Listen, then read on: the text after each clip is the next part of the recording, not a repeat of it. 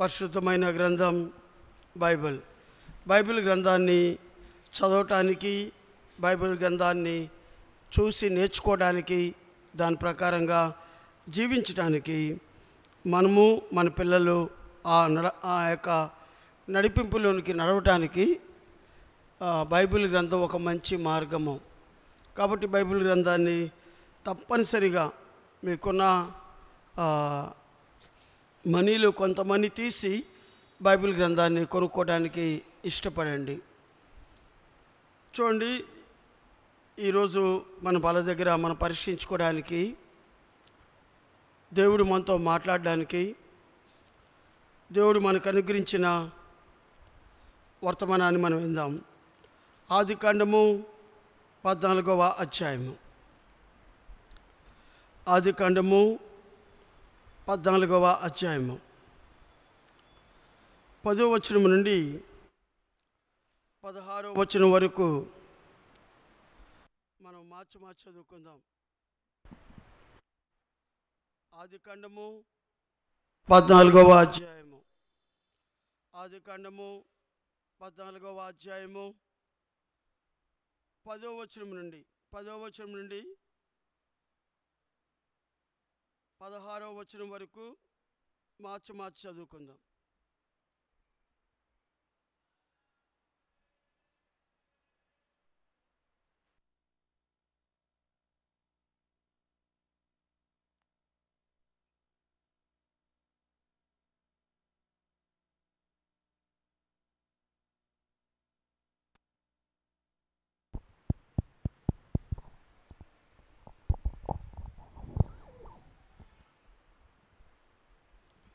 ఆది కాండము పద్నాలుగవ అధ్యాయము పదో వచనం నుండి నేను చదువుతున్నాను. ఒక వచనం నేను చదువుతాను ఒక వచనాన్ని మీరు చదవండి. ఆ సిద్ధిము లోయలో విస్తారమైన మట్టికీలు గుంటలు ఉండెను. సుధమ గుమురాల రాజులు పారిపోయి వాటిలో పడిరి. శేషించిన వారు కొండకు పారిపోయిరి. సుధమ గుమురాల ఆస్తి యావత్తును వారి భోజన పదార్థములని పట్టుకొని పోయి. పన్నెండవ వచనము. మరియు అబ్రాము సహోదరుని కుమారుడైన లోతు సుధుమలో కాపురముడెను. కనుక అతనిని అతని ఆస్తిని పట్టుకొని పోగా తప్పించుకొని ఒకడు వచ్చి హెబ్రిడైన అబ్రహాము సోదరుడు అనేరు సోదరుడైన మమ్మరేను మూరిను ఎలిమోనులో కాపురముడెను. వీరు అబ్రామ్తో నిబంధన చేసుకున్నవారు. పద్నాలుగో వచనము. అబ్రాము తన తమ్ముడు చెరపట్టవనని విని తన ఇంట పుట్టి అలవర్చబడిన మూడు వందల పదినెనిమిదిని వెంటబెట్టుకొని దాను మటుకు ఆ రాజులను తరిమెను.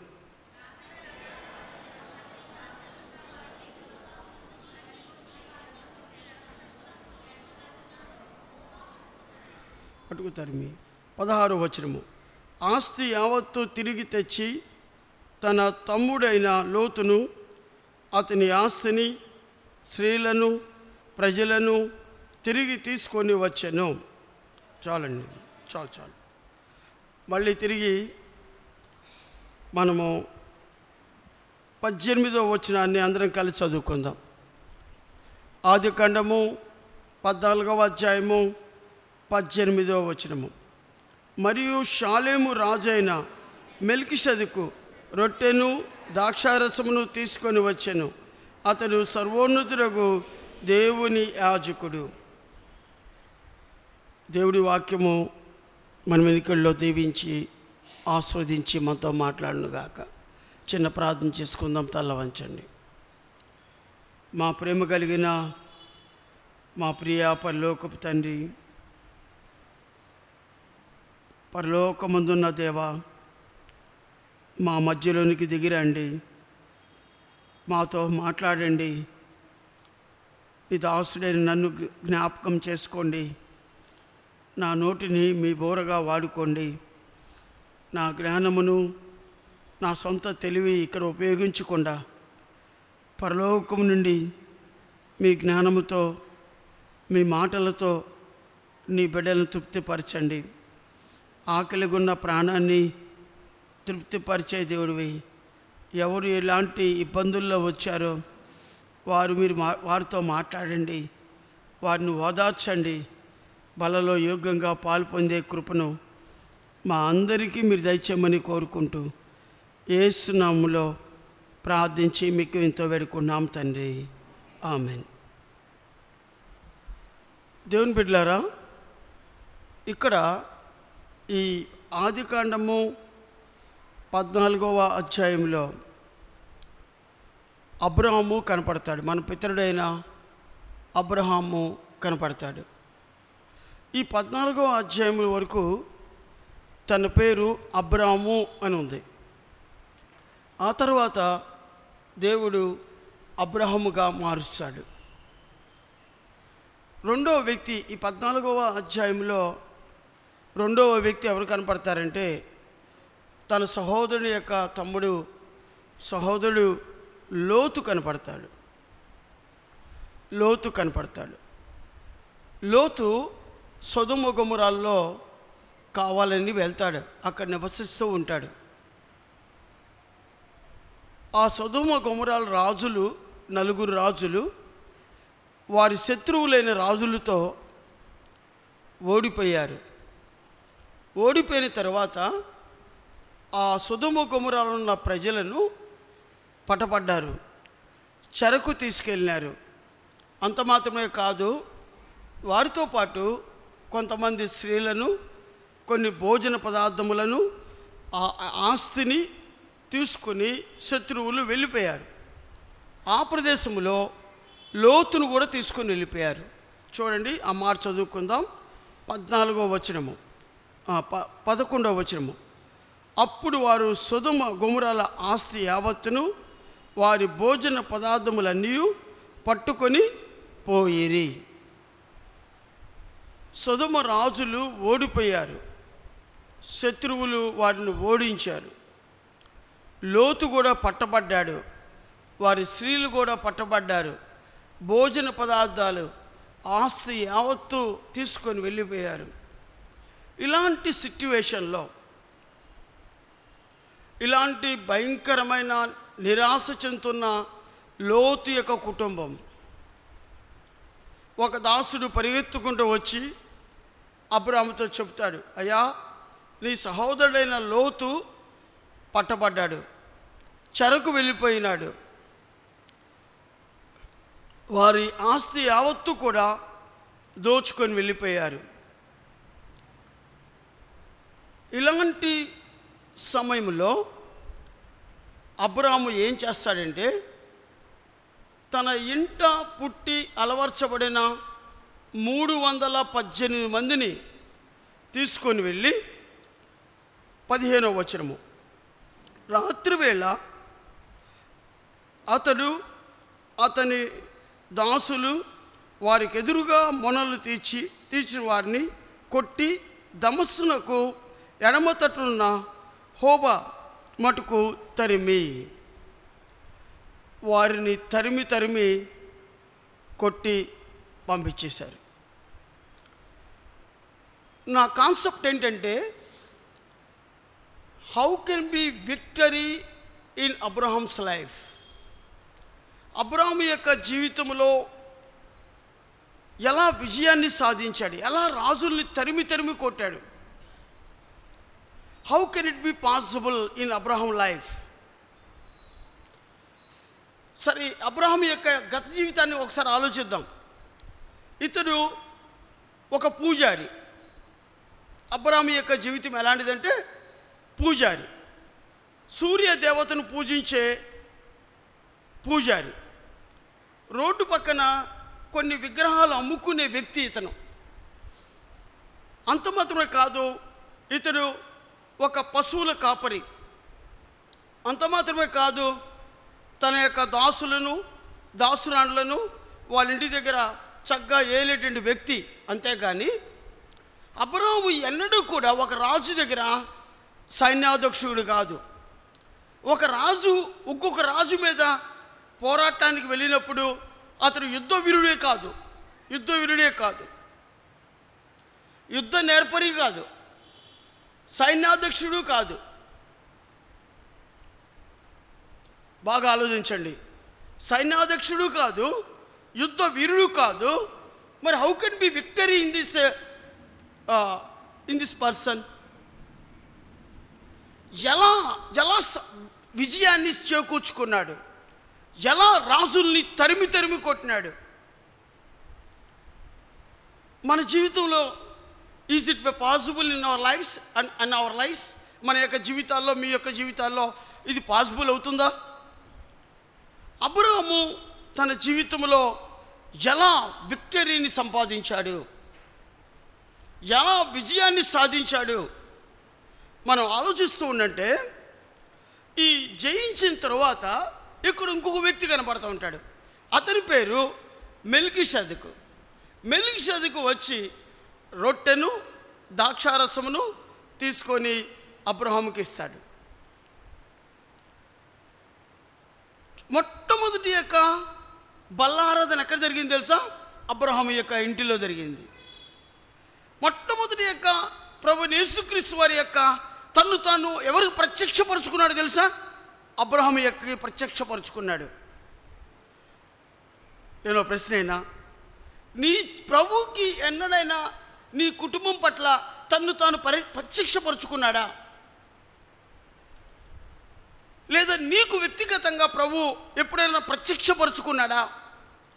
కానీ అబ్రహం యొక్క జీవితంలో మనం చూస్తుంటే మెలికిషద్ మెలికిషద్కు పోలిన ప్రభు అయిన యేసుక్రీస్తు వారు తన్ను తాను అబ్రహాముకి ప్రత్యక్షపరుచుకున్నాడు.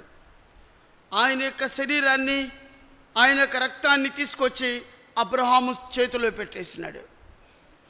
ఎంత గొప్ప విషయం అండి. వీటి వెలబు ఎట్లా ఎన్ని ఎలా సాధ్యమైన అబ్రహాం యొక్క జీవితంలో ఒక పూజారి ఒక విగ్రహాలు అమ్ముకునేవాడు ఒక పశువుల కాపరి తన ఇంటిని ఏలుకునేవాడు అంతే. ఈయన ఒక సైన్యాధ్యక్షుడు కాదు ఒక రాజు కింద పరిపాలన చేసినవాడు కాదు ఒక రాజ్యాన్ని పరిపాలన చేసినవాడు కాదు కానీ అబ్రహము ఎలా తన శత్రువులైన రాజులని తరిమి తరిమి పంపించాడు. ఆలోచించండి. ఇది మన జీవితంలో సాధ్యమవుతుందా? అబ్రహం యొక్క జీవితంలో సాధ్యమైంది. వ్యక్తిగతంగా నీ జీవితంలో లేదా నా జీవితంలో సాధ్యమవుతుందా? చూడండి ఒక మాట ఇక్కడ. అబ్రహం యొక్క జీవితంలో మనం నేర్చుకోవాల్సిన అద్భుతమైన పాఠం ఒకటి ఉంది. రండి పద్నాలుగో వచనము. అబ్రాము తన తమ్ముడు చెరపెట్టనని విని తన ఇంట పుట్టి అలవర్చబడిన అమార్చండి అండర్లైన్ దట్ వర్డ్ తన ఇంట పుట్టి అలవర్చబడిన అంటే అలవర్చబడిన అంటే అర్థం ఏంటంటే నేర్చుకొనిన they they they trained himself the trained up అని కూడా అంటారు. తన ఇంట పుట్టారంట. తన ఇంట పుట్టారంట. నువ్వు ఎక్కడ పుట్టావు? మీ ఇంట్లోనేనా మేమ కడుపులోనేగా? హాస్పిటల్లో పుట్టుంటా కదా మళ్ళీ ఎక్కడికి తీసుకొచ్చారు? ఇంట్లోనే కదా? అబ్రహం ఇంట పుట్టి అలవర్చబడిన మూడు వందల పద్దెనిమిది మందిని తీసుకెళ్ళి శత్రువులు జయించాడు.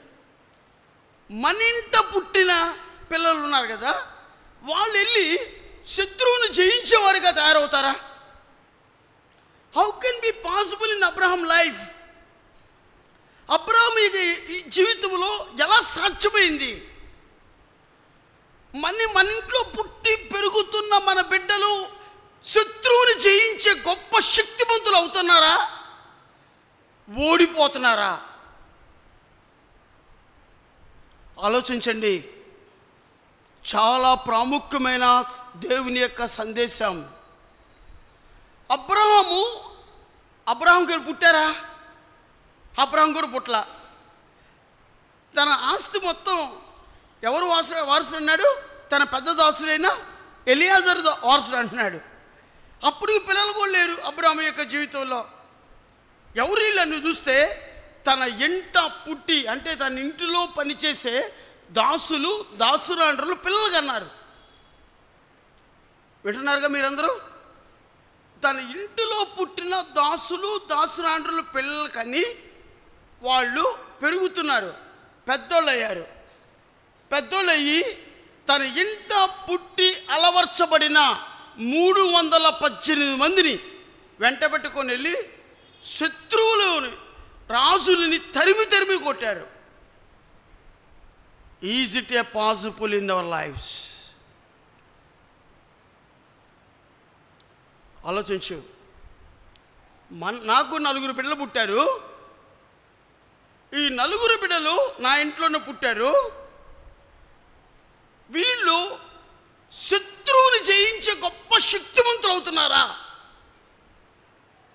అలా ట్రైన్ చేస్తున్నామా మనం? అలా నేర్పిస్తున్నావా మన జీవితాల్లో? అబ్రాహం యొక్క జీవితంలో ఏమి నేర్చుకున్నారు వాళ్ళు? దేవుడు అంటాడు అబ్రహాముకు చెప్పకుండా ఏదైనా దాచానా నేను? అంటాడు. కదా? ప్రభువు కూడా చాలా ఇష్టపడ్డాడు అబ్రాహ్మని. ఎందుకు ప్రభు ఇష్టపడ్డాడు? దేవుడు ఏమి దాచనన్నాడు? అబ్రహం యొక్క జీవితంలో తన ఇంట పుట్టి అలవర్చబడిన మూడు వందల పద్దెనిమిది మందిని తీసుకొని వెళ్ళి శత్రువులైన రాజులను తరిమి తరిమి కొట్టాడు. Is it possible our children మన పిల్లలు మనకు పుట్టిన బిడ్డలే. నేను ఎవరో గురించి మాట్లాడలా. మీ కొడుకు కాదు నా కుటుంబంలో పుట్టిన నలుగురు బిడ్డలు. శత్రువులు జయించేవారిగా వారు రెడీ అవుతున్నారా? తయారవుతున్నారా? ఎవరి కుటుంబంలో వాళ్ళు ప్రశ్నించుకోండి అబ్రాహముకి పుట్టలేదు ఇల్లు కానీ అబ్రాహముతో పాటు మూడు వందల పద్దెనిమిది మంది ఆనందంటున్నారు బట్టలేసుకుంటున్నారు చక్కగా పశువులు పశువులు కాపర్లు కాస్తున్నారు.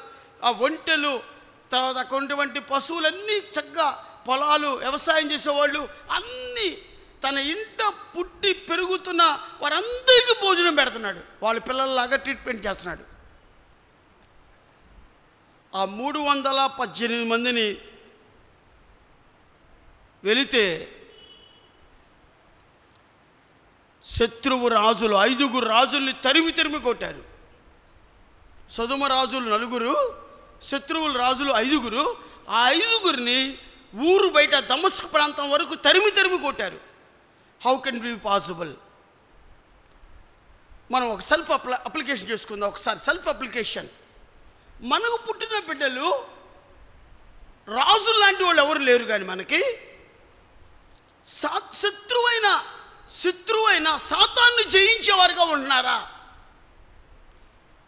తల్లిదండ్రులుగా మనకుందా? మనం జయిస్తున్నామా? మనతో పాటు మన పిల్లలు కూడా జయిస్తున్నారా? మన ఇంట పుట్టారే. మన పేగు దించుకొని పుట్టిన వాళ్ళే. అబ్రహాము పేగు దించుకొని పుట్టల వాళ్ళు. దాసులు దాసులాంటి పిల్లలు.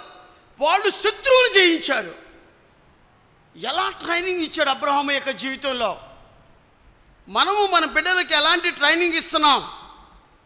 ఎలాంటి ట్రైనింగ్ మనం ఇస్తున్నాం? చూడండి అక్కడికి ప్రభు ప్రత్యక్షమయ్యాడు. ఎప్పుడైతే విజయాన్ని చేకూర్చుకున్నారో అబ్రాహం యొక్క జీవితంలోనికి అబ్రాహం ఇంటిలోనికి ప్రభు ప్రత్యక్షమయ్యాడు. బల్ల ఇంటిలోనికి వచ్చింది. ఎలా వచ్చింది? ఏడు గొప్ప విషయాలు ఉన్నాయి మనం నేర్చుకోవాల్సిన ఏడు లక్షణాలు ఉన్నాయి మన బిడ్డలకు కూడా నేర్పించాల్సిన ఏడు అద్భుతమైన విషయాలు ఉన్నాయి యవనస్తులారా మీ జీవితంలో కూడా ఏడు అద్భుతమైన లక్షణాలను మీరు నేర్చుకోండి. ఈ లోకంలో ఉన్న శత్రువైన సాతాన్ని తరిమి తరిమి కొడతారు. ఇది ముందు తల్లిదండ్రులైన మనం నేర్చుకోవాలి. మన ప్రభావము ఎవరి మీదకి వెళ్ళాలంటే మన బిడ్డల మీదకి వెళ్ళాలి. మనం జయించక్కర్లా. మన బిడ్డలు జయించేవారుగా తయారవుతారు. ఆ ఏడు లక్షణాలను ఈరోజు మనం నేర్చుకుందాం. రండి. మొదటి అద్భుతమైన లక్షణము. మనం చూద్దాం. ద్వితీయోపదేశ కాండం. ద్వితీయోపదేశకాండం. ద్వితీయోపదేశకాండం నాలుగవ అధ్యాయము. ద్వితీయోపదేశకాండం నాలుగవ అధ్యాయము. నాలుగవ అధ్యాయము పదవ వచనము పదవ వచనము. నువ్వు హేరోబులో నీ దేవుడైన యహోవా సన్నిధి నిలిచి ఉండగా యహోవా నా యొద్దకు ప్రజలను కూర్చుము. వారు ఆ దేశం మీద బ్రతుకు దినములన్నీ నాకు భయపడి భయపడ నేర్చుకొని తమ పిల్లలకు నేర్పినట్లుగా వారికి నా మాటలు వినిపించేదను. ఆయన ఆయన నాతో చెప్పిన దినమును గూర్చి వారికి తెలుపుము. ఈ వచనములో మీరు చూడండి. పదో వచనములో ఆ దేశం మీద బ్రతుకు దినములన్నీ నాకు భయపడ నేర్చుకొని. నేర్చుకొని భయపడ నేర్చుకొని ఆ మాట చూడండి. భయపడ నేర్చుకొని అలవర్చబడుట అంటే అర్థమేంటి తెలుసా? Trained himself. అలవర్చబడుట అంటే అర్థమేంటి తెలుసు తెలుగులో? నే నేర్పవలేను నేర్చుకొనవలేను. అలవర్చబడుట అంటే నేర్చుకొనవలేను. నేను చూపించే ఏడు ఏడు అద్భుతమైన పాయింట్స్లో నేర్చుకొనవలేను అని కనపడతా ఉండేది. మొట్టమొదటి మనం నేర్చుకోవాల్సిన మొట్టమొదటి విషయం ఏంటంటే చూడండి వారు నాకు భయపడ నేర్చుకొని నేర్పుకొని నేర్చుకొని. దేవునికి భయపడుతున్నావా? Are you fear in the Lord Jesus Christ secret life are you fear? Private life? Are you fear? Public life? Are you fear in the Lord Jesus Christ? తల్లిదండ్రులంగా మనము దేవునికి భయపడుతున్నావా? నాకు చిన్న స్కూల్ ఉందండి. ఆ స్కూల్లో ఆ పిల్లడు చిన్న పిల్లలు నర్సరీ పిల్లలు ఉంటారు కొంతమంది. వాళ్ళని ఆఫీసు ముందు కూర్చోబెట్టి తల్లిదండ్రులు పెడతా ఉంటారు. నేను లోపల కూర్చుంటాను ఏదో కంప్యూటర్ వర్క్ అయ్యి స్కూల్ వర్క్ చేస్తూ ఉంటాను. వాళ్ళ అమ్మనిది సార్ వస్తున్నాడు కర్ర తీసుకొని వస్తాడు నిన్ను కొడతాడు తినకపోతే తిను. అంటే పిల్లలకి ఎవరు భయం నేర్పిస్తున్నారు? సారు భయం నేర్పిస్తున్నారు. ఒక అమ్మనిది అదిగో అటు పక్కన చెట్లు ఉన్నాయి కదా చెట్టు పైన దెయ్యం ఉంది వస్తుంది నువ్వు తినకపోతే నువ్వు నోరు తెరవకపోతే నిన్ను తినేస్తుంది అనగానే పిల్లలు నోరు తిరుగుతాడు పెట్టి బొమ్మే అని అర్థమవుతుందా? అంటే పిల్లోడికి చిన్నప్పుడు ఏం నేర్పిస్తున్నారు? దెయ్యము భయం నేర్పిస్తున్నారు. పిల్లప్పుడు పిల్లోడు చిన్నప్పుడు ఏం నేర్పిస్తున్నారు? మాస్టర్ గారు భయం నేర్పిస్తున్నారు. చిన్నప్పుడు భయం నేర్పిస్తున్నాడు బూచుడు భయం నేర్పిస్తున్నాడు చిన్నప్పుడు ఎవరు భయం నేర్పిస్తున్నారు? ఆలోచించు. ఆలోచించు. దేవుని భయముని ఉందా నీ జీవితంలో? నువ్వు దేవునికి భయపడితే ఆటోమేటిక్గా నీ పిల్లలు కూడా దేవునికి భయపడతారు. నీ జీవితంలో దేవుడంటే ఆ, చులకనైపోయాడా? అలవాటైపోయాడా? లేదా భయపడుతున్నావా? అబ్రహాము దేవునికి భయపడ్డాడు. అబ్రహాము యొక్క జీవితంలో మనం నేర్చుకోవాల్సిన అద్భుతమైన పాఠం ఏంటి తెలుసా? అబ్రహాము దేవునికి భయపడ్డాడు. తన దాసులు కూడా దేవునికి భయపడ్డారు. తన ఇంట పుట్టి అలవరచబడుతున్నారు ఎట్లా అలవరచబడుతున్నారంటే అబ్రహాము దేవునికి భయపడ్డాడు. ఆటోమేటిక్గా వాళ్ళ యొక్క భయము ఎవరి మీదకి వచ్చింది? వాళ్ళ దాసులకి దాసులండ్రుల మీదకి వచ్చింది. తల్లిదండ్రులారా మీరు దేవునికి భయపడుతున్నారా? మీరు దేవునికి భయపడితే మీ పిల్లలు కూడా దేవునికి భయపడతారు. అబ్రహాము దేవునికి భయపడ్డాడు. అందుకనే అబ్రహాము దేవుని ఎందు భయభక్తులు కలిగి ఉన్నాడు కాబట్టి వాళ్ళ ఇంట పుట్టి పెరుగుతున్న మూడు వందల పద్దెనిమిది మంది కూడా అబ్రహాము భయపడుతున్నట్టు కనపడుతున్నారే కానీ అబ్రహాము దేవుడైన దేవునికి వారు భయపడుతున్నారు. మీ జీవితంలో దేవుని భయం ఉందా? ఒకవేళ దేవుని భయం ఉంటే దేవునికి స్తోత్రం. మన బిడ్డలు కూడా దేవుని భయభక్తుల్లో పెరుగుతూ ఉంటారు. ఆ దేవునికి నిజంగా నువ్వు భయపడితే ఆ బలలో ప్రభా నేను నీకు భయపడేవాడను. ప్రభా నీకు నేను భయపడుతున్నాను. నా బిడ్డలు కూడా నా సంఘము కూడా నీకు భయపడే విధంగా సహాయం చేయని ప్రార్థన చేసుకో. ఒకవేళ నీ జీవితంలో భయపడకుండా విచ్చలివిడితనంగా జీవిస్తుండంటే ఎక్కడైనా దేవునికి భయపడటం నేర్చుకో. అబ్రహాము దేవునికి భయపడ్డాడు. కాబట్టి తన ఇంట పుట్టిన దాసులు దాసురాండ్రులు వాళ్ళ యొక్క పిల్లలు మూడు వందల పద్దెనిమిది మంది కూడా దేవునికి భయపడ్డారు. కాబట్టి ఈ లోకంలో ఉన్న శత్రువు రాజులని ఐదుగురిని తరిమి తరిమి కొట్టారు వాళ్ళు. మన జీవితంలో మన బిడ్డలు వ్యక్తిగతంగా నీవు ఒక విజయాన్ని చేకూర్చుకోవాలంటే దేవుని బిడ్డలారా ఫస్ట్ నేర్చుకోవాల్సింది ఫీర్ ఆఫ్ ద లాడ్ దేవునికి భయపడు. దేవునికి భయపడు. రెండవ అద్భుతమైన విషయం చెప్తాను మీకు నేను.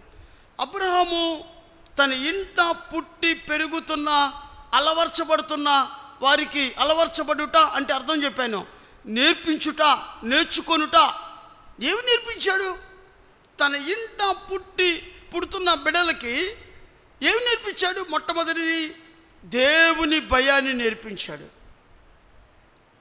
రెండవ చూద్దామండి. రెండవ అద్భుతమైన విషయము. ద్వితీయోపదేశకాండం పదిహేడవ అధ్యాయము. ద్వితీయోపదేశకాండము పదిహేడవ అధ్యాయము. పదిహేడవ అధ్యాయము. ఇరవయో వచనము. అంటే పంతొమ్మిది ఇరవై ఇరవై ఒకటి ఇరవై రెండు అన్నీ కలిసి ఉంటాయి. అయితే నేను చూడండి. తాను స- తన సహోదరుల మీద గర్వించి ఈ ధర్మమును విడిచిపెట్టి కుడి కుడికి కానీ ఎడమకు కానీ తాను తొలగకుండా ఉండునట్లు తన దేవుడైన యహోవాకు భయపడి ఈ ధర్మశాస్త్ర వాక్యములన్నిటినీ ఈ కట్టడలను అనుసరించి నడువ నేర్చు నేర్చుకున్నటకు అతడు తాను బ్రతుకు దినములన్నిటిను ఆ గ్రంథమును చదువుచుండవలేను. ఆ గ్రంథమును చదువుచుండవలేను. అపై మాట చూడండి. ఈ ధర్మశాస్త్ర వాక్యం అన్నిటినీ ఈ కట్టడలను అనుసరించి నడువ నేర్చుకొనుటకు నడువ నేర్చుకొనుటకు అబ్రహం యొక్క తన ఇంట పుట్టి అలవర్చబడిన అలవర్చబడిన అంటే నేర్చుకొనుట రెండవ అద్భుతమైన విషయం ఏం నేర్పించాడు తెలుసా? తన ఇంట పుట్టి పెరుగుతున్న బిడ్డలకి ఈ ధర్మశాస్త్ర వాక్యములన్నిటినీ కట్టడలను అనుసరించి నడువ నేర్పించును నేర్చు నేర్పు నేర్చుకొనుటకు. రెండోది ఏం నేర్పించాడు తెలుసా? The word of God. మొదటిది ఏం నేర్పించాడు? The fear of the God. రెండోది ఏం నేర్పించారు తెలుసా? ద వర్డ్ ఆఫ్ గాడ్ దేవుని యొక్క వాక్యాన్ని. దేవుని యొక్క వాక్యాన్ని చదవటము నేర్పించాడు. దేవుని వాక్యాన్ని కట్టలను అనుసరించేట్టుగా నేర్పించాడు అబ్రహాము. తన ఇంట పుట్టి అలవర్చబడిన మూడు వందల పద్దెనిమిది మంది. ఒకళ్ళిద్దరు కాదు. ఒకళ్ళిద్దరు కాదు అతను నేర్పించింది. మూడు వందల పద్దెనిమిది మంది బిడ్డలకి ఏమి నేర్పించాడు తెలుసా? ద వర్డ్ ఆఫ్ గాడ్ దేవుని యొక్క వాక్యాన్ని చదవడం నేర్పించాడు. వాటిని అనుసరించి నడవడం నేర్పించాడు. ఆ కట్టడలను అనుసరించి నడవడం నేర్పించాడు. నువ్వు నువ్వు చదువుతున్నావు? దేవుని వాక్యాన్ని పొద్దున్నే లేచి? చదువుతావా? దేవుని వాక్యాన్ని చదువుతావా? దేవుడినితో మాట్లాడతాడా? వాక్యమే ఉన్న దేవుడినితో మాట్లాడతాడా? నువ్వు చదువుతున్నట్టుగా వాక్యాన్ని చదువుతున్నట్టుగా నీ బిడ్డలు ఎప్పుడైనా చూసారా నీ బిడ్డలు ఎప్పుడైనా చూస్తారా? నేను ఒకసారి నా హైదరాబాద్ వాక్యం చెప్పడానికి వెళ్ళాను. వాళ్ళకి అయిపోయిన తర్వాత వాక్యం అయిపోయిన తర్వాత అన్న భోజనానికి మా ఇంటికి రండి అని అన్నారు. కాదులే మా సిస్టర్ చేశారంటే కాదన్న మా ఇంటికి రండి అన్నాను వెళ్ళాను. వెళ్ళి కూర్చున్నాను. అక్కడ కూర్చొని వాళ్ళు భోజన పదార్థాలన్నీ పెడుతున్నారు. అందులోకి అంతలోకి సిస్టర్ అంది అన్న ఒక వాక్యం చదవా అన్నాను. వాక్యం చదివాను. చదివి ఆమె నేను ప్రార్థన చేశాను. కూర్చున్నాను. పిల్లలు ఇద్దరు ముగ్గు ఇద్దరు పిల్లలు వాళ్ళు వాళ్ళు నా పక్కన కూర్చున్నారు. అరే బాబు నువ్వు వాక్యాన్ని చదువుతావా? అన్న నేను చదువుతుంది నేను చదువుతుంది ఎన్నో క్లాస్ తెలుసా అంకుల్? అన్నాడు. ఏందమ్మా ఎన్నో క్లాస్ అన్న? నేను చదువుతుంది ఓన్లీ ఫిఫ్త్ క్లాసే అంకుల్. మరి వాక్యం చదువుతావా? మా అమ్మ చదవకపోతే మా అమ్మ ఊరుకోదు. చదవకపోతే మా డాడీ ఊరుకోడు. నేను ఈరోజు అన్నం తినాలంటే వాక్యం చదవాల్సిందే. ఈరోజు నేను గ్లాస్ పాలు తాగాలంటే వాక్యం చదవాల్సిందే. మా మమ్మీ స్నానం చేసేటప్పుడు నన్ను ఖచ్చితంగా అడిగిద్ది నీతో దేవుడు మాట్లాడిన ఒక్క వర్స్ చెప్పు ఒక్క వర్స్. టిఫిన్ చేసేటప్పుడు మళ్ళీ అడిగిద్ది ఒక వర్స్ చెప్పు. భోజనం చేసినప్పుడు క్యారేజ్ తీసుకుని మమ్మీ స్కూల్కి వస్తుంది అడిగిద్ది నన్ను. దేవుడు పొద్దున మాట్లాడి మాట మళ్ళీ చెప్పవా నాకు అని అడిగేది. He train the word of God ఇలాంటి బుద్ధులు ఏమైనా ఉన్నాయంటావా మనకి? దేవుని వాక్యాన్ని చదవటము మన బిడ్డలకి నేర్పిస్తున్నావా? నువ్వు నేర్చుకుంటున్నావా దేవుని వాక్యాన్ని చదువుతున్నావా? కానీ అబ్రాహము ఆ రోజుల్లో దేవుని వాక్యం లేకపోయినా ధర్మశాస్త్రం లేకపోయినా దేవుని ఎందు భయభక్తులు కలిగి ఉన్నాడు దేవుడు చెప్పే ప్రతి మాటను తన దాసులకి దాసురాండ్రులకి నేర్పించాడు. దేవుడు అద్భుతంగా అరవై ఆరు పుస్తకాలు మన చేతిలో పెట్టాడు. ఎన్నిసార్లు నువ్వు చదువుతున్నావు దేవుని యొక్క వాక్యాన్ని? నీ జీవితంలో దేవుని యొక్క వాక్యాన్ని చదివే లక్షణం ఉందా? నువ్వు దేవుని వాక్యాన్ని నీ బిడ్డలను పక్కన పెట్టుకొని ఎప్పుడైనా చదివి వినిపించావా? దేవుని వాక్యాన్ని నీ బిడ్డలను చదివించడానికి వాళ్ళకి టైం ఇస్తున్నావా నువ్వు? నీ బిడ్డలు చదివి నీ నువ్వు చదివే ఆ యొక్క దేవుని వాక్యము నీ బిడ్డలు వినటానికి నీ టైం ఇస్తున్నారా? ఆలోచించు ఆలోచించు. చిన్నతనం ముందే బిడ్డలకు చెవులో దేవుని వాక్యాన్ని పంపించండి. పెద్దవాడైనప్పుడు దాని నుండి తిరిగిపోడు మన దగ్గర ఉండేది పిల్లల యొక్క వయసు ఎంతో తెలుసా? కేవలము sixteen years after sixteen years he entered into the intermediate stage mummy hostel అనేది. Daddy hostel no day scholar intermediate అయిపోగానే ఎన్ఐటీస్ ఐఐటీస్ పంపిస్తామని ఆశ ఉండిద్ది. ఎక్కడ ఉంటాడు ఎన్ఐటీస్కి వెళ్ళినప్పుడు హాస్టల్లో ఉంటాడు. అప్పుడు కూర్చోయమ్మ ప్రభు నా బిడ్డని కాపాడయ్యా. ప్రభు నా బిడ్డని మీరేతో చుట్టూ దేవదూతలు కాపలా ఉంచాయి అనేదానికన్నా నీ దగ్గర పదహారేళ్ళప్పుడు వయసులో ఉన్నప్పుడు బిడ్డలు పెరుగుతున్నప్పుడు అప్పుడు దేవునికి వాక్యాన్ని పరిచయం చేయి. నేర్పించు. తల దువ్వేటప్పుడు నేర్పించు. లేదా పౌడర్ రాసేటప్పుడు నేర్పించు డ్రెస్ వేసేటప్పుడు నేర్పించు దేవుని యొక్క వాక్యాన్ని. హీ ట్రైండ్ హిమ్సెల్ఫ్ అలవర్చబడ్డారంట అబ్రహాం యొక్క ఇంటిలో. మన ఇంటిలో మన బిడ్డలు ఎలా ఉన్నారు?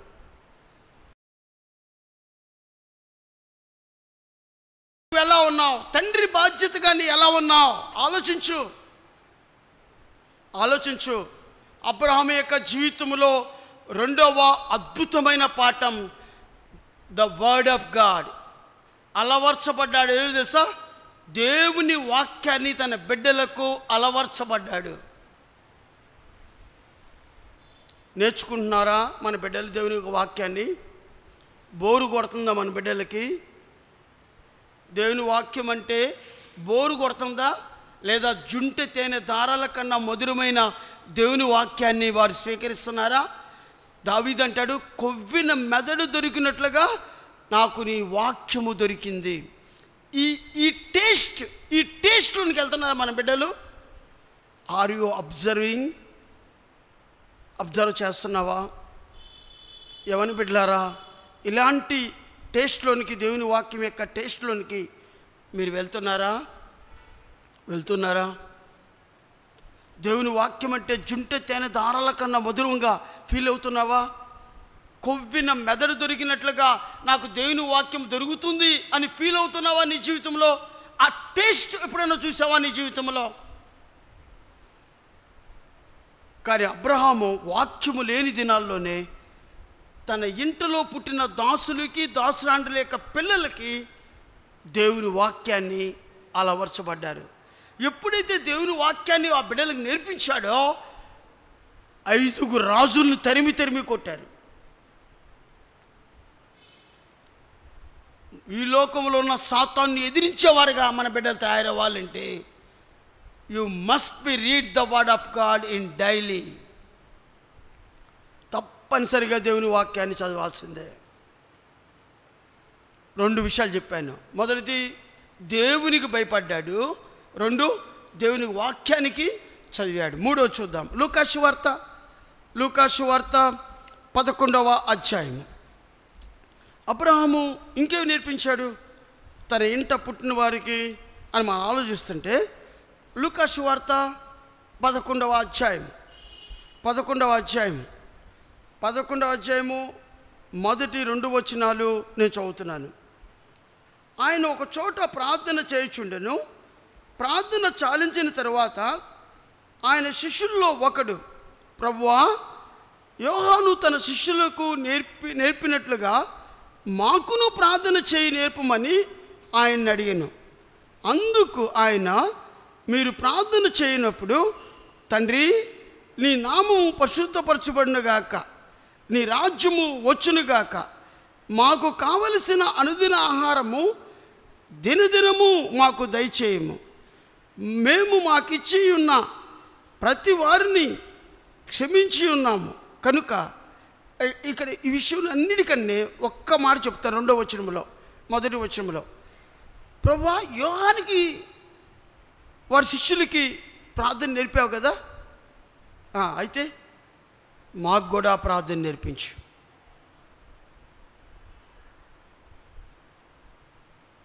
శిష్యులు అడుగుతున్నారు ప్రార్థన మాకు కూడా నేర్పించు. నీ బిడ్డలు పబ్లిక్లో ప్రార్థన చేయగలుగుతారా? ప్రార్థన చేయగలుగుతారా? ఫ్యామిలీ ప్రేయర్లో నీ బిడ్డలు ప్రార్థన చేయగలుగుతారా? అబ్రహాము తన ఇంట పుట్టి పెరుగుతున్న మూడు వందల పద్దెనిమిది మందికి రాజులు జయించి తలికి ఏం ట్రైనింగ్ ఇచ్చాడో తెలుసా? తన దాసులకి దాసులు అంటే యొక్క పిల్లలకి ప్రార్థన చేయడం నేర్పించాడు. మీరు ఉదయాన్నే లేచి అబ్రహాము మాకు దయచేయ ఆహారం దయచేయమని ప్రార్థన చేయక్కర్లా. నాకు కాదు మీరు చేయాల్సింది. నా సంపద కోసం కాదు నాకున్న ధననిధులు కోసం కాదు మీరు ప్రార్థన చేయాల్సింది మీరు తండ్రిని అడగండి. తండ్రిని అడగండి. మీ బిడ్డలు ఎప్పుడైనా నేను డబ్బులు అడిగారా? అడుగుతారు కదా? ఈ మాట ఎప్పుడైనా చెప్పావా? గో ఆస్క్ ద గాడ్ అని చెప్పావా? ఒకవేళ మీ కాలేజీ ఫీజు కడుతున్నారనుకోండి మీ బిడ్డలు కట్టాలనుకోండి స్కూల్ ఫీజు కట్టాలనుకోండి డాడీ మా మాస్టర్ ఊరుకోట్ల డబ్బులు కట్టమన్నారనుకోండి నీ పిల్లలకి ఎప్పుడు నీ క్వశ్చన్ వేసావా? నాన్న వెళ్ళి దేవుణ్ణి అడుగు. నాకన్నా గొప్ప తండ్రి ఆయన. ఆయన అడుగు. వెళ్ళి అడుగుపో. నీ చేతుల్లో నీ జేబులో డబ్బులు ఉంటాయి నువ్వు కట్టగలిగే సోమతి నీకుంది. కానీ నీ బిడ్డలకి ఏం నేర్పిస్తున్నావు? నీ బిడ్డలు ఎప్పుడైతే ప్రార్థన చేశారో సాయంత్రం ఇంటికి వచ్చి డాడీ నేను ప్రార్థన చేశాను. ప్రభువు నీకు డబ్బులు ఇచ్చాడా? ఇచ్చాడు నాన్న డబ్బులు ఇచ్చాడు ఇగో వాళ్ళకి ఎంత విశ్వాసం పెరిగిద్ది? ఎంత విశ్వాసం పెరిగిద్ది వాళ్ళకి? ఎంత నమ్మకం కలిగింది దేవుని మీద? ఎప్పుడైనా ఇలాంటి విషయాలు ఎప్పుడైనా తండ్రిగా తల్లిగా ఇలాంటి విషయాలు ఎప్పుడైనా ఆలోచించావా? నీ బిడ్డలకు నేర్పించావా? ప్రార్థన చేయడం నేర్పించావా నీ జీవితంలో? అంటే నాకు ఈ వాక్యాన్ని ప్రిపేర్ అవుతున్నప్పుడు నేను కన్నీటితో దేవుణ్ణి అడిగింది ఏంటంటే నా బిడ్డలు నేను చెడిపోవడానికి కారణం నేనే ప్రభువా. నేనే ప్రభువా. నన్ను క్షమించు. దేవుని భయాన్ని నేర్పించలేకపోయాను. దేవుని వాక్యాన్ని చదవడం నేర్పించలేకపోయాను. మూడోది నా బిడ్డలకి ప్రార్థన చేయడం కూడా నేర్పించలేకపోయాను. ఐఎమ్ షేమ్ నన్ను క్షమించు. ఎంతో టయాన్ని వేస్ట్ చేశాను. చిన్నతనం నుంచి నేను వేస్ట్ చేశాను. నా బిడ్డలతో చేయవలసిన ఫ్రెండ్షిప్ నేను చేయలేకపోయాను. సారీ లాడ్ సారీ లాడ్ ప్రభుకు చెప్పాను నేను. దేవుని భయాన్ని నేర్పించలేకపోయాను. దేవుని యొక్క వాక్యాన్ని నేర్పించలేకపోయాను. మూడవది ప్రార్థన చేయడం నేర్పించలేకపోయాను. ఇవన్నీ బేసిక్స్ నేను చదువుతుంది బేసిక్స్ మళ్ళీ మీ అందరికీ తెలుసు ఇవన్నీ. రిమైండ్ చేస్తున్నా. మళ్ళీ జ్ఞాపకం చేస్తున్నా. ఎక్కడ పడిపోయావో? సరి చేసుకుంటావని. ఎక్కడ నేను పడిపోయానో? ఎక్కడ నువ్వు పడిపోయావో? మళ్ళీ తిరిగి ప్రభువులో సమకూర్చాలని ఆశ తపన వేదన భారం తప్ప ఇంకోటి ఏమీ లేదు. ఇంకోటి ఏమీ లేదు. నాలుగవ అద్భుతమైన విషయము. యష్యా గ్రంథం. యష్యా గ్రంథం ఇరవై ఆరవ అధ్యాయము. యష్యా గ్రంథం ఇరవై ఆరవ అధ్యాయము. తొమ్మిదవ వచనము. ఇరవై ఆరవ అధ్యాయము యష్యా గ్రంథం పదో వచనం చదువుకుందాక డైరెక్ట్గా ఉంటుంది. పదో వచనము. దుష్టులకు దయచూపినను వారు నీతిని నేర్చుకొనరు. చాలమ్మా. చాలు. వారు నీతిని నేర్చుకొనరు. అంటే నాలుగవ అద్భుతమైన విషయం ఏంటంటే దేవుని యొక్క నీతిని మన బిడ్డలకు నేర్పించాలి. ఒకవేళ దుష్టులు చెప్తే వాళ్ళు వినరు. వాళ్ళు పెద్ద నేర్చుకోరు. అబ్రహాము పేరేం పేరు తెలుసు కదా మీ అందరికీ తెలుసు కదా? అబ్రహాము నీతిమంతుడు. లోతు నీతిమంతుడు. అబ్రహామే నీతిమంతుడైతే అబ్రహాముకు పుట్టని బిడ్డలు ఉన్నారు మూడు వందల పద్దెనిమిది మంది. వాళ్ళందరినీ దేంట్లో నడిపించాడు తెలుసా? నీతిమంతులుగా నడిపించాడు. నీ బిడ్డలకి నీతిని నేర్పిస్తున్నావా? నీతిని నేర్పిస్తున్నావా? అన్యాయాన్ని నేర్పిస్తున్నావా? దొంగతనం చేయడం నేర్పిస్తున్నావా? అబద్ధాలు ఆడటం నేర్పిస్తున్నావా? దేవుని నీతిని నేర్పిస్తున్నావా? ఏవి నేర్పిస్తున్నావు? ప్రియమైన దేవుని బిడ్డలారా దేవుని నీతి అంటే తెలుసా మీకు? దేవుని నీతి నేర్చుకోవాలని ఆశ తృష్ణ కోరిక మీ జీవితంలో ఎప్పుడైనా ఏర్పడిందా? చూడండి అబ్రహాము నీతిమంతుడు లోతు నీతిమంతుడు నోవు కూడా నీతిమంతుడు. మన బిడ్డలు నీవు నేను మనందరం నీతిమంతులుగా అయ్యామా? నీతిని మెలికిసద్ సారీ సదుమలో ఉన్న రాజులు ఆ ఆస్తిని ఆ మొత్తాన్ని తీసుకొచ్చి అబ్రహాం దగ్గరికి వస్తారు. అబ్రహాం దగ్గరికి వచ్చి దీంట్లో పదో వంతు తీసుకో నువ్వే. నువ్వు జయించావు కాబట్టి నువ్వు తీసుకోండి అబ్రామ్ అంటాడు నువ్వు తీసుకొచ్చిన ధనములో కానీ ఆస్తిలో కానీ ఒక్క నూలుగు పోగైనా నాకు అక్కరలేదు. ఎందుకు అక్కర్లేదన్నాడు ప్రభువు నాకు ఇస్తాడు ప్రభువు నాకు ఇస్తాడు ఆ రోజుల్లోనే గొప్ప ధనవంతుడు అబ్రాహ్మ. అన్యాయంగా దేవుని యొక్క ఎదుట అన్యాయం ఎప్పుడు చేయలేదు అబ్రాహము. తన వెనకాల తన భార్య ఉంది. తన పెద్ద దాసుడు ఎలియాజర్ ఉన్నాడు. ఎలియాజర్ ఉన్నాడు. అందరితో పాటు ఆ మూడు వందల పద్దెనిమిది మంది ఉన్నారు. ఏ నీతిని ఫాలో అవుతున్నారు? అబ్రహాము యొక్క నీతిని ఫాలో అవుతున్నారు. అబ్రహాము యొక్క నీతిని ఫాలో అవుతున్నారు. నేను మాట చెప్పనా? క్షమించండి. చెప్తున్నందుకు క్షమించండి. నీలో ఉన్న నీతి నీ బిడ్డలకు నేర్చుకుంటున్నారా? ప్రభు దగ్గర నుంచి సంపాదించిన నీతి నీ బిడ్డలు నేర్చుకుంటున్నారా? చూడండి ప్రార్థన విషయంలో ఓ మార్చి కూర్చో కోసం చెప్తున్నాను. ప్రార్థన వెనక్కి వెళ్ళాను నేను ప్రార్థన. ఎలియాజరు తన కుమారుడు యొక్క కోసం ఇస్సాక్ కోసం రిప్కా కోసం వెళ్ళాడు. ఊరు బయట ఉన్న బావి దగ్గర ఆగాడు. అక్కడికి వెళ్ళి ఎలియాజర్ ఏం చేస్తున్నాడు? ప్రార్థన చేస్తున్నాడు. ఎలా వచ్చింది? ఒక దాసుడు బావి దగ్గర నిలబడి ప్రార్థన ఎలా చేస్తున్నాడు? అబ్రహాము ప్రార్థన చేశాడు. తన పెద్ద దాసుడైన ఎలియాజరు కూడా ప్రార్థన చేస్తున్నాడు. సహోదరులరా నీ ప్రార్థనా జీవితము నీ బిడ్డలు చూడకపోతే నీ మనవళ్ళు మనవరాళ్ళు చూడకపోతే వాళ్ళు ఎప్పుడు నేర్చుకుంటారు? ఇవి నేర్పిస్తున్నావా? లోకాన్ని నేర్పిస్తున్నావా? ఇంకో విషయం చెప్పనా మీకు? మీకు ఇంకా కాన్సెప్ట్ అర్థం అవడానికి ఎలియాజరు మోకరించాడు. ఎలియాజర్తో పాటు వచ్చిన ఒంటెలు అవి కూడా ఏం చేసినాయి? మోకరించినాయి. నీ ఇంట్లో పెట్ యానిమల్స్ ఉన్నాయిగా పెట్ యానిమల్స్ నువ్వు ప్రార్థనకు ఫ్యామిలీ ప్రేయర్లో కూర్చున్నప్పుడు నీ పెట్ యానిమల్స్ ఎంతో ముద్దుగా పెంచుకునే యానిమల్స్ మోకరిస్తాయా? నువ్వే మోకరించావు. నీ బిడ్డలు మోకరించరు. నీ పెట్ట అనిమల్స్ కూడా మోకరించు. ఆలోచించు. నేర్చుకున్నావా?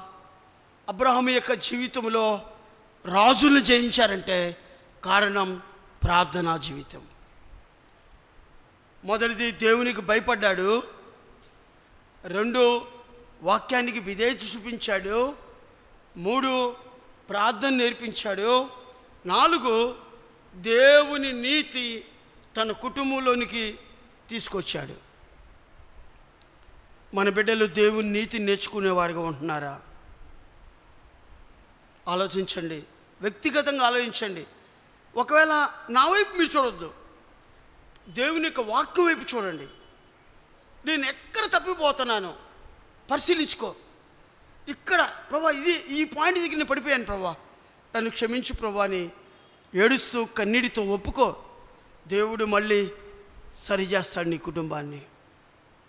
దేవుడు మళ్ళీ తిరిగి సమకూరుస్తాడు నీ కుటుంబాన్ని. దేవుడు తిరిగి మళ్ళీ తిరిగి కడతాడు నీ కుటుంబాన్ని. నాలుగు విషయాలు అయిపోయినాయి. ఐదో విషయం చెప్తున్నాను. ఐదవ అద్భుతమైన విషయము. హెబ్రిల్ రాసిన పత్రిక ఐదవ అధ్యాయము ఎనిమిదవ వచనము. హెబిల్ రాసిన పత్రిక హెబిల్ రాసిన పత్రిక ఐదవ అధ్యాయము ఎనిమిదవ వచ్చిన చదువునాను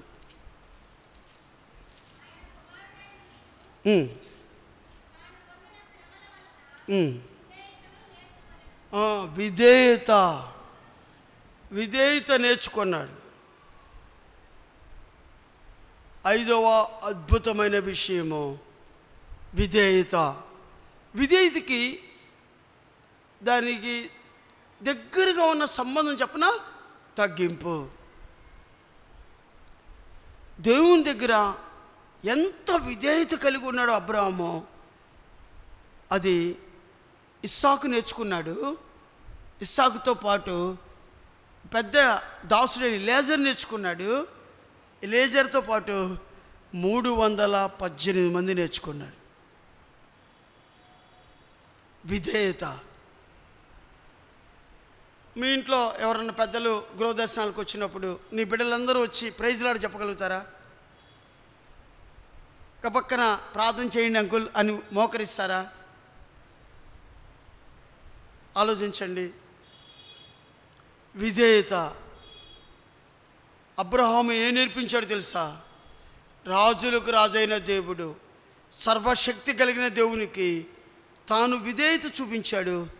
ఆటోమేటిక్గా తన వెనకాల ఉన్న మూడు వందల పద్దెనిమిది మంది విధేయత చూపించారు. నాట్ ఓన్లీ దాట్ అక్కడ ఆగిపోలా వాళ్ళ ఇంటిలో పశువులు కూడా విధేయ చూపించినాయి. అర్థమైందా? వాళ్ళ ఇంటిలో పెరుగుతున్న పశువులు కూడా విధేయ చూపించినాయి. నువ్వు విధేయ చూపిస్తున్నావా? దేవునికి విధేయత చూపించేవాళ్ళు ఆటోమేటిక్గా సంఘములో ఉన్న పెద్దలందరికీ విధేయత చూపిస్తారు. టీచర్స్కి విధేయత చూపిస్తారు. మీ స్కూల్స్లో ఉన్న మీ టీచర్స్కు విధేయత చూపిస్తారు. మీ మాస్టర్స్కి విధేయత చూపిస్తారు. మీ పెద్దలకు విధేయత చూపిస్తారు. కారణం ఎక్కడ నేర్చుకుంటారో తెలుసా? మా అమ్మ విధేయత నాకు నేర్పించింది. మా నాన్న నాకు విధేయత నేర్పించాడు. మా తాత నాకు విధేయత నేర్పించాడు. మా అమ్మమ్మ మా నాయనమ్మ నాకు విధేయత అంటే ఏంటో నేర్పించారు. నేర్పిస్తావా? నేర్చుకుంటావా? విధేయత కలిగి ఉంటావా? అందుకనే ప్రభనేసుక్రీస్తు వారు మనుషుని పోలిగ్గా పుట్టి దాసుని స్వరూపాన్ని ధరించుకొని రిక్తులుగా మారిపోయి ఆ ఏం చేస్తే మరణం పొందినంతగా అనగా శిలువ మరణం పొందినంతగా ఏం చూపించాడు? విధేయత చూపించాడు. విధేయత చూపించాడు. ఆ విధేయత మనకు పుట్ మన ఇంట పుట్టి పెరుగుతున్న బిడ్డలకి విధేయత మనం నేర్పించాలి. ప్రభు యొక్క విధేయత నేర్పించాలి. మనం విధేయులుగా మనం కలిగి ఉంటే ఆటోమేటిక్గా మన బిడ్డలు విధేయత కలిగి జీవిస్తారు. ఐదు విషయాలు మనం నేర్చుకున్నాం. ఆరో విషయము ఇర్మియా గ్రంథం. ఇర్మియా గ్రంథం. ఇర్మియా గ్రంథం పన్నెండవ అధ్యాయం ఇర్మియా గ్రంథం పన్నెండవ అధ్యాయం ఇర్మియా గ్రంథం పన్నెండవ అధ్యాయం పన్నెండవ అధ్యాయము పదహారవ వచనము.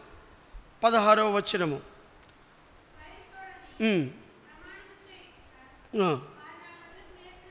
Mm.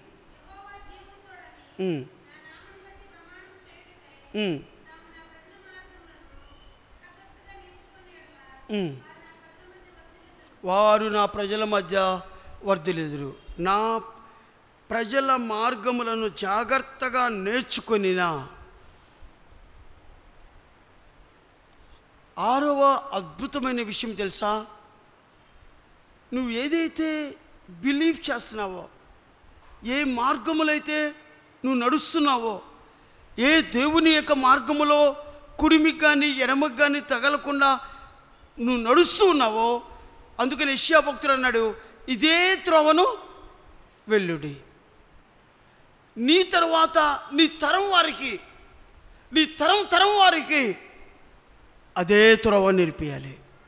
అదే మార్గము అదే మార్గాన్ని. అబ్రహాం చూడండి అబ్రహాము దేవుని నమ్మాడు ఆ నమ్మిన మార్గము అది వాళ్ళ పిల్లలకు నేర్పించాడు.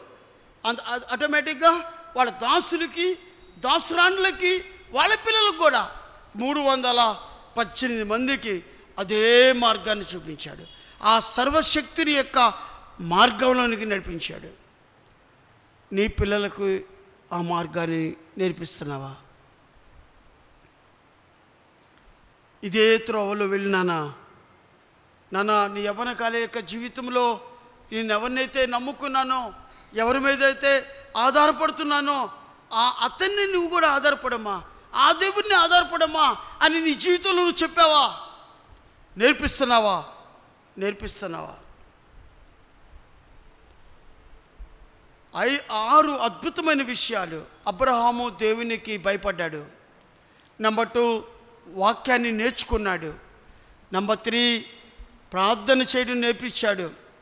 నెంబర్ ఫోర్ దేవుని యొక్క నీతిని నేర్పించాడు. నెంబర్ ఫైవ్ విధేయత చూపించడం నేర్పించాడు. నంబర్ సిక్స్ మార్గాన్ని నేర్పించాడు. తాను ఏ మార్గములైతే నడుస్తున్నాడో ఆ మార్గాన్ని తన వెనుకాల వచ్చేటువంటి బిడ్డలందరికీ అదే మార్గాన్ని నేర్పించాడు. నీ ఇంట పుట్టి పెరుగుతున్న బిడ్డలు ఇదే మార్గంలో నడుస్తున్నారా? ఆలోచించు. అబ్రహాము పుట్టలేదు. తన దాసులకి దాసరాండ్లకు పుట్టారు మూడు వందల పద్దెనిమిది మంది. అబ్రహాము ఏ మార్గంలో అయితే నడుస్తున్నారో అదే మార్గంలో మూడు వందల పద్దెనిమిది మంది నడుస్తున్నారు. ఎంత గొప్పగా ఉంది. ఈ వాక్యాన్ని చదువుతున్నప్పుడు ప్రిపేర్ అవుతున్నప్పుడు దేవుని ఎదుట నిలబడలేకపోయాను. ప్రభా నాకు పుట్టిన నలుగురు బిడ్డలకి ఒకవేళ ఈ మార్గంలో నుంచి తొలగిపోతే ప్రభా ఈ మార్గంలో నుంచి వెళ్ళిపోతే ప్రభా నిత్య నరకాగ్నికి వెళ్ళిపోతారు కదా. ప్రభా నా జీవితంలో నేను ఇదే మార్గంలో నడిచి నడిచేట్టుగా చెయ్యి నాతో పాటు నా బిడ్డలు కూడా ఇదే మార్గం నడిచేటి చేయి. నా బిడ్డలతో పాటు నా సంఘము కూడా ఇదే మార్గములో నడిచే కృపను అనుగ్రహించి ప్రభాని పశ్చాత్తాపడ్డ దేవుని సన్నిధిలో.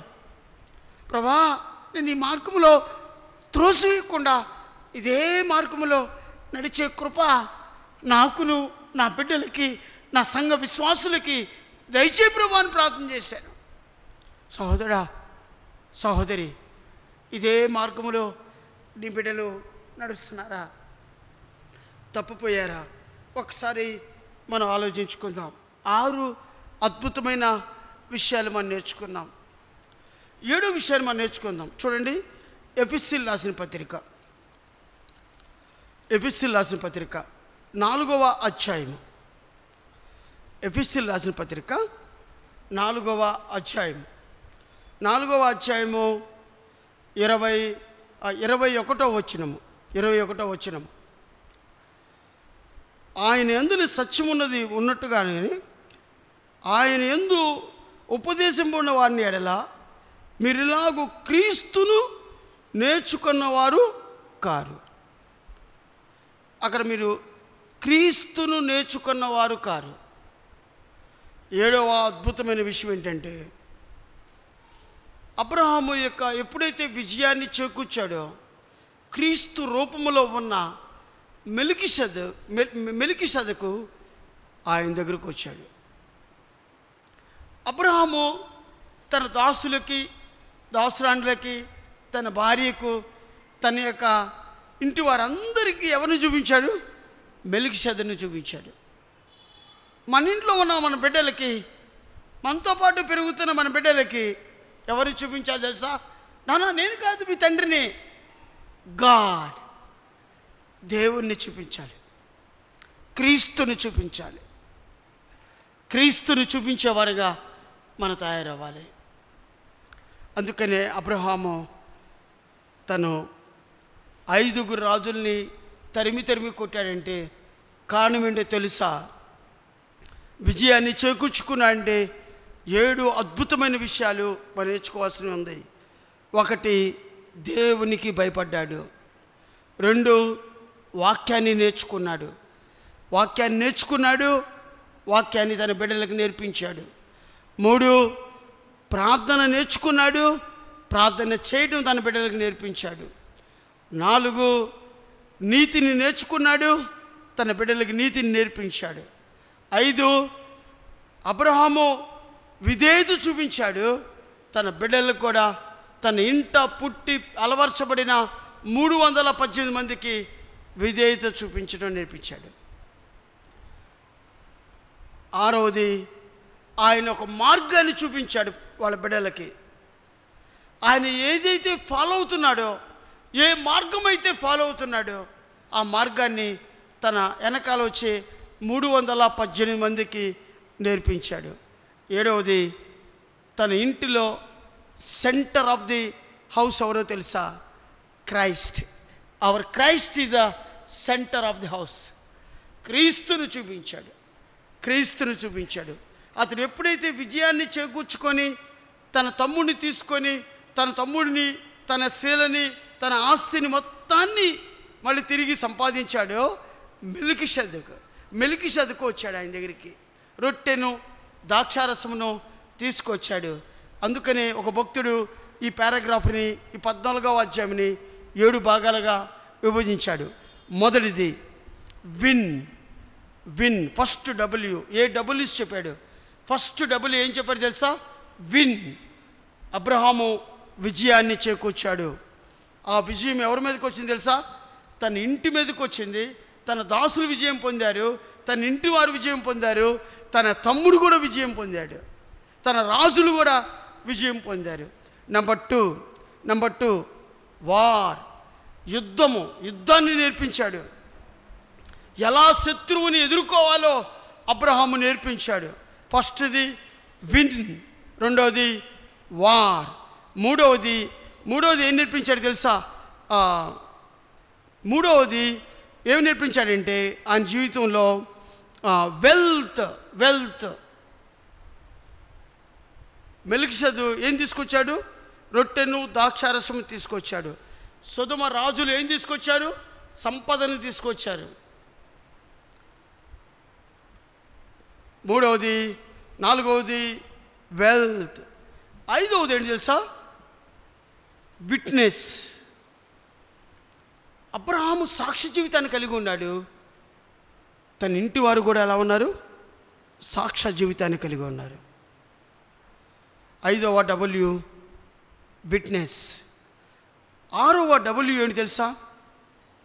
ఆరవ డబ్ల్యూ వర్షిప్ వాళ్ళందరూ విజయాన్ని సంపదను మార్గాన్ని అన్నీ తీసుకొచ్చిన తర్వాత వాళ్ళ జీవితంలో ఏమొచ్చింది తెలుసా? అవన్నీ చూసినప్పుడు విజయాన్ని చేకూర్చుకున్నప్పుడు వాళ్ళ ఇంట్లో ఏర్పడింది ఆరాధన ప్రారంభమైంది. ఏడవ డబ్ల్యూ ఏం తెలుసా? ద వే వే మార్గము. అబ్రహాము ఏ మార్గములైతే తను నడుస్తూ ఉన్నాడో ఆటోమేటిక్గా మూడు వందల పద్దెనిమిది మంది కూడా అదే మార్గములో నడిచాడు. దేవుని యొక్క ప్రభావము అబ్రహం మీద పడింది. అబ్రహం మీద ఉన్న ప్రభావము తన ఇంట పుట్టి అలవర్చబడిన మూడు వందల పద్దెనిమిది మందికి మీదకి ప్రభావం వచ్చింది. నీ ప్రభావము నీ భర్త మీద పడుతుందా? దేవుని యొక్క ప్రభావము క్రీస్తు యొక్క ప్రభావము నీ బిడ్డల మీదకి వస్తుందా?